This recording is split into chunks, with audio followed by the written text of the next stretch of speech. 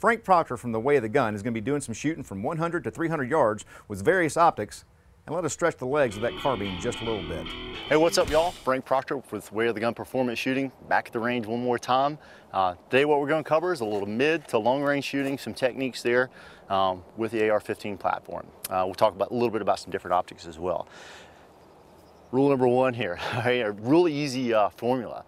We need stability, all right? Whether it's mid-range stuff, and I'm kind of defining that, you know, 100 uh, to, uh, to 300 yards or meters.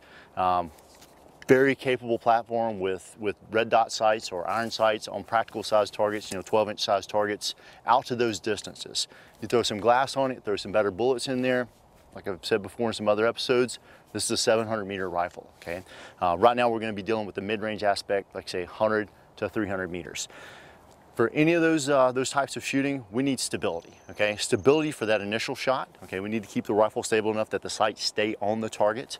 Um, and then we also need to be able to get enough stability to where if we need to deliver multiple rounds on that target, the gun doesn't move around.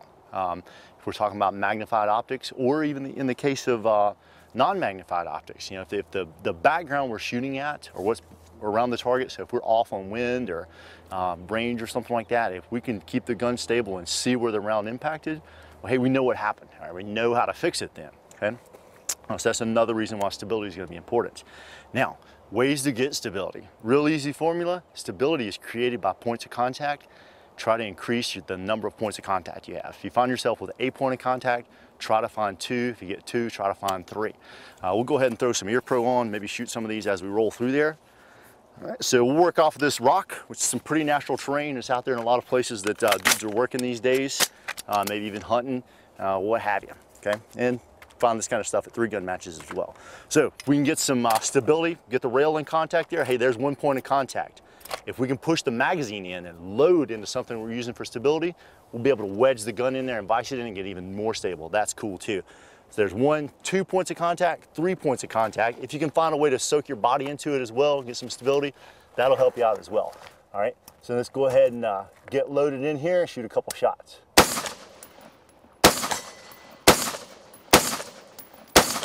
All right, cool. All right, so you're able to get nice and stable there. You look at, uh, let's try that again there. All right, groovy. All right, 150, you need to hold just a fuzz under on that guy there. Now, that's a way to get some stability over the top of something. Let's jump over here and look at some C-clamp action. All right, C-clamp gets its name because we make a C with our hand. Let's go ahead and go kneeling. We'll put that firing side knee up so we can get another point of contact. So make a little C with our hand, load that into something that we're using for support, maybe cover as well. Um, get a hold of the rifle, clamp it back in, and we can kind of load back into it and increase our stability.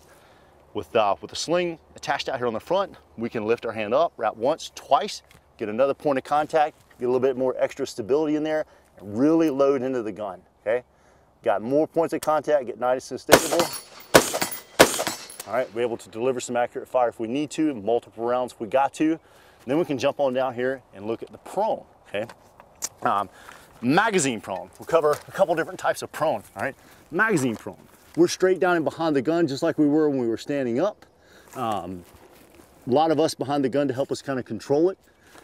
Get that magazine in contact with the ground. I like to dig it in a little bit and then we can kind of load forward with that shoulder. All right, so we got one, two, three, four points of contact with our whole body on the ground.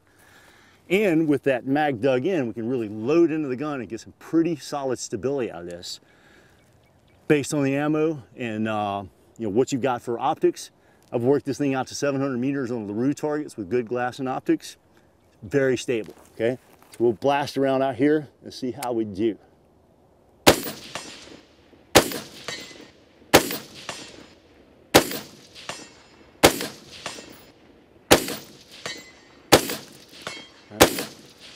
All right, able to get nice and stable there by loading into the gun there.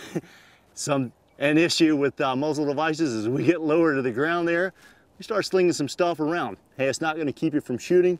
Um, and here's another variation of that prone. If we need to get a little bit lower and get underneath something like the other side of this log there or whatever, we can kind of angle the gun down here and get a little bit lower.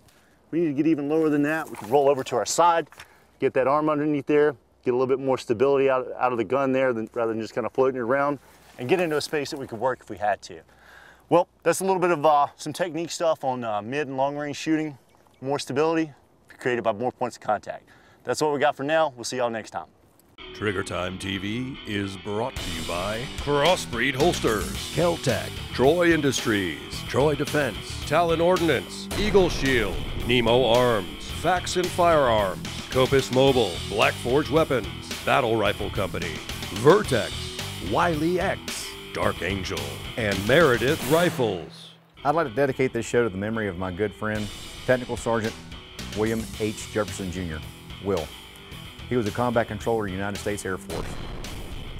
Closed caption provided by Wiley X.